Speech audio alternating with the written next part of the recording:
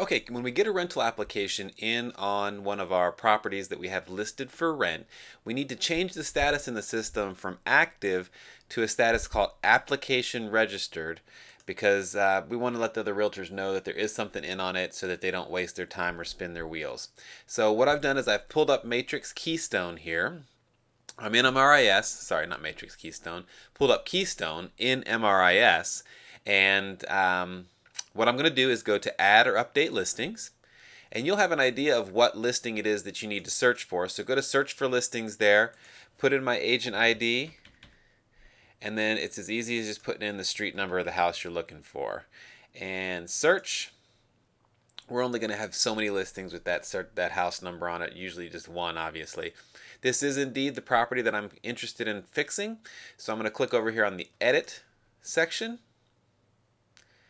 let MRIS think about that for just a second. And then right here, it's about the fourth one down. It says status, and currently it says active. So I'm going to take that and drop it down to application registered. And it says app reg actually, A P P R E G. And then I'm going to hit save and continue. And then I'm going to hit submit to MLS.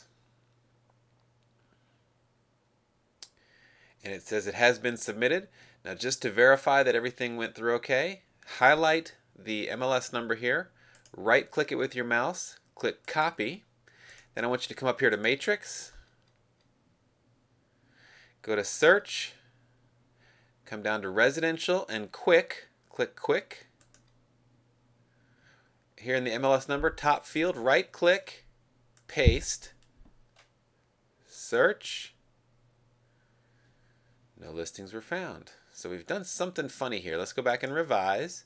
And I think it means we did what we were trying to do. I put the MLS number in here, but here under status, you see it's only looking for active, contingent, and contingent no kickout contracts, not app registered. So if I click that to highlight that as well, and then hit search, boom, there's the property. And it does show that the status has changed for us. So we did what we wanted to do. Status is changed.